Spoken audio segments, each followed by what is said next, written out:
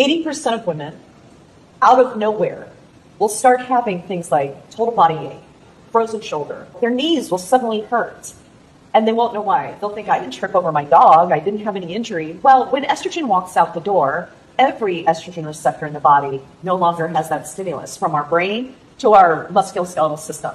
So the musculoskeletal syndrome is a nomenclature we put together to summarize the six or so musculoskeletal manifestations, including loss of muscle mass or sarcopenia, loss of bone density, osteoporosis, increased joint pain due to uh, lack of support for the cartilage, shifting in our adipose tissue, the huge inflammatory flare we get, which can result in total body pain, which is called arthralgia, or even frozen shoulder, without estrogen supporting our stem cells, particularly our muscle satellite cells, we have less regenerative capacity.